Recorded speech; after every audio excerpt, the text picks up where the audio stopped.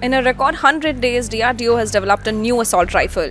Aptly named Ugram, which means ferocious, the rifle with a caliber of 7.62 mm is more ferocious than INSAS rifle, popularly used by armed forces in India, including paramilitary forces.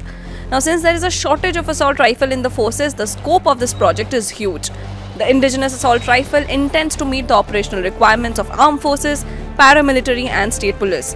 The rifle has an effective range of 500 meters and it weighs less than 4 kilograms. Now, it has been developed by DRDO's Pune based facility, Armament Research and Development Establishment, in collaboration with Hyderabad based private firm Dvipa Armour India Private Limited. The ARDE has established a dedicated barrel manufacturing facility on its campus. The DRDO has spent Rs 60 crore on the project. DRDO's Ugram will have to go through several internal tests, acceptance trials, and user trials before it can be considered for induction.